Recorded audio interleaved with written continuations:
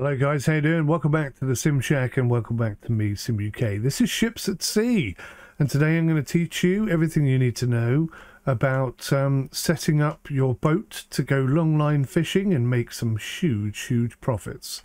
So if we look at the map very quickly, first thing to do, if we come in here and look at the filter, we'll turn the cargo off, the fish farms off, we'll keep the fish habitats on, we'll keep the fuel stations on, the route on, we'll turn off the sea markers for now, and um, we'll leave fishing gear on because when you start dropping your long lines, you want to know where they are. So the map itself is pretty large, and these are the fish habitats down here. One, two, three at the bottom in the south, four,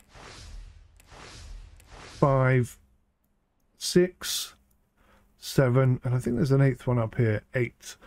Now you'll notice that each one has a different um, likelihood of uh, catching fish. This is excellent for catching halibut, but the overall amount of fish you'll notice is quite low actually. So it's not in abundance at this time of year. A few more fish over here, good for pretty much everything to be honest with you. This one would be terrible for fishing if you're aiming for halibut. And this one is good for haddock. Down in the bottom, this is usually good for cod. This time it's good for haddock. And this one is good for cod. But you'll notice that the overall amount varies on all of them. So regardless where you decide to go, with your initial boat, your initial fishing boat, you are going to struggle like Billy-O to get here and get back. So there's a few things you need to do, and it's quite important that you do pretty much all of these things in order to get there and to get back. So first thing you would do is come here to the shipyard and you would come in over to your laptop, you would click on boats and you will pick this one. It's Flippy. Flippy is a lovely boat and over here you have upgrades. First thing you want to upgrade is the propeller. It's the cheapest, most effective thing. So once you've purchased, you click and hold to buy, you have to press install. Make sure that it's on your boat before you leave the dock.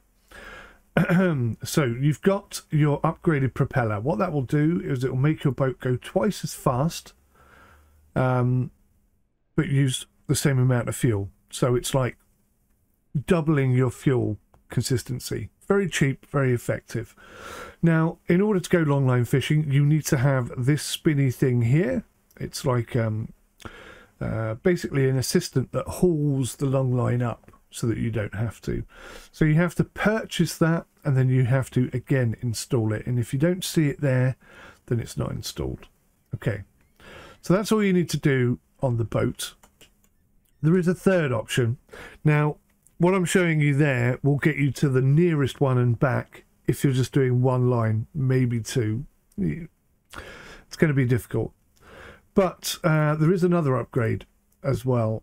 Uh, the internal fuel tank. Now, this is not cheap. 45,000, 60,000. But if you want to go to the further distances and get the best fish you can, that's what you're going to need to do.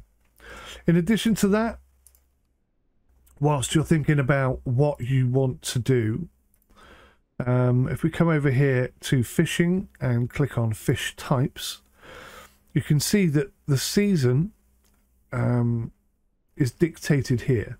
So don't go fishing for cod if it's outside of September or April because you're not going to catch many, if any. And I think the price probably will reflect that as well. I'm not sure if the price will be higher or lower or what, but um, there's a lot of fish that you can catch, and they all have different um, seasons that you can fish for them. It may be illegal to fish for them outside of the season. I don't entirely know. So, once you've picked a the fish type, you're going to. Uh, oh my god! Look at the storm! Bloody hell! Where did that come from? Goodness me! Unbelievable! Unbelievable! It was fine out here two minutes ago. Anyway. It is early access, don't forget, guys. Um, so, before we go to the shop, actually, there's a couple of things you desperately will need to have. First of all, if you go into your skill tree, there is the eco driving skill. If you've got it on Eco Driving 2, you should be able to get to the nearest fishing point and back again with one fish load. Eco Driving 3, I think, would be the best. Um, but uh, yeah, it's 10% less fuel, I think, with each one. So 10% less fuel, 20%, 30% less fuel. Quite important, in fact. In addition to that, you're going to have to click on fishing and learn the longliner skill. If you don't do that, you won't be able to fish. Okay, let's go to the shop first. The lightning coming down. Absolutely stunning. I think they've just re-enabled uh, re this and now they're like, just have storms all the time. I don't mind, personally. I mean, getting out of here is going to be hell on earth, but um, it's going to be fun at the same time. So if you go to the shop, you are desperately going to need a hook. Um, the binoculars are quite useful, but a hook definitely useful. Um, if you don't have a hook, you can't get the fish in at all. You can purchase these Ping Me upgrades. Um, they're 40 grand. They're not cheap, but it does make it really easy to locate your um, fishing lines once you put them down. But to be honest with you, the technique I'm going to show you today, it's not relevant. So we've got our boat. We've configured it for long lining. We've got our training for long lining. We've bought the hook. Now we need the gear and the bait. So we'll enter the fishery and based on what kind of fish you want to catch, um, you will pick which bait block you want. Now, I know for a fact that shrimp um, are very good at catching cod. So I was trying to catch cod, so I bought some of these. Um, they're not that expensive, so you might as well buy the 20k one. I've never actually seen one of these run out, so in early access, maybe that's not even implemented yet, but they do go out of date. So just play around with that until you find a, a, good balance, but they're not too expensive, so I wouldn't worry about it too much. Now, as for the long lines themselves, you've got 250 hooks, which isn't much. You have uh, 500 hooks, 1,000 hooks, and 2,500 hooks. Now, I took three 2,500 hooks out, missed half the fish that I hauled in, and still earned nearly 400,000k. So there's good money to be made, but the tip, the tip is, the trick and the tip is, don't go out there and fish one line because you're not really going to make enough profit off that when you factor in the fuel, which is about 20 grand, maybe more. Um, the fact that you've got to buy the bait and the line and everything. So your first trip out there to do one line, you're going to come back with maybe a couple of thousand. Um, and that's just not profitable. It's going to take you like an hour to do this, by the way. So, um, getting out there in this weather is going to be really tricky. Really tricky. Once you use a long line, um, it does disappear from your boat. So you're actually, for the time being at least, going to have to use a long line, uh, buy a long line every single time you go out there. So that's quite uh, an expensive purchase. So you'll plot your course by using the left mouse button to go to the nearest fishing point that you can reach. It tells you how many kilometers you can travel. Um, you're going to have to factor in how far your your particular boat in its particular configuration can get to and back again. So when you get close enough to the fish habitat, you'll turn on your sonar. Your sonar will it will show you where particular fish are frequenting, and then you can change your um, your route to accommodate that.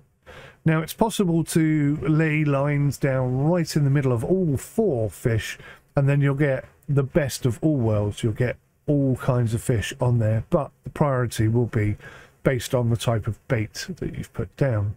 Now, the thing about the thing that's new with this game, and I think it's absolutely fantastic, um, is that it's um, the the fish actually move around now, so they don't stay in one place. So it is possible that you could, I suppose, just anchor up and wait for the fish to come to you, or maybe take a risk and put a line down where you think the fish are going to uh, pop up.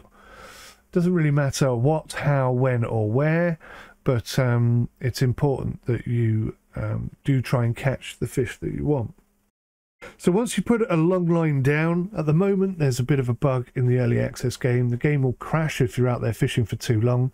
So my recommendation is to put one line down and then click on the clock in the cockpit and skip time for 12, 13, 14 hours perhaps, and then pick up that first line before you put down your second line. That seems to stop the crashing and it gives you a much better chance of getting back to shore without the game crashing and you losing the lot. So that would be my recommendation. Three lines, as I say, can pull in easily 400,000 more if you can haul the fish in. Um, and in order to, in order to haul the fish in, you need to pull up alongside the last um, buoy. So not where you started laying the long line, but where you ended laying the long line and from there you can pick up the long line and you have to have your hook in your hand and you need to try and get that hook into the mouth of the fish as they're coming in. It's not as easy as you might think. Um, there may be some early access bugs there that are stopping some of the fish from being caught at all. Um, i don't really know but um, it is quite difficult i have to say. And i like that. I like that it's difficult. If it was easy it would be boring so once you've got as many fish as you can in the boat, there is a maximum amount of fish that you can have, but um, I don't honestly know what that limit is. I don't even know if it's being implemented in early access. So just fill up the boat as much as you can. As soon as you've got a full load or you've run out of bait or you've run out of hooks or whatever, then uh, you're good to go back to shore. On the way back to shore, if you run out of fuel, you can call for assistance, or if the weather's really bad, like it was in this particular instance, uh, you can call for assistance and it will take you straight back to shore. So once you get back to shore, um, you will come back down here to this building, to the fishery, and you will click on this and you will sell all fish. Just keep clicking sell all fish until all your fish have been sold and then your lovely lovely profits will come in and you'll be able to uh, progress and move on to the next thing.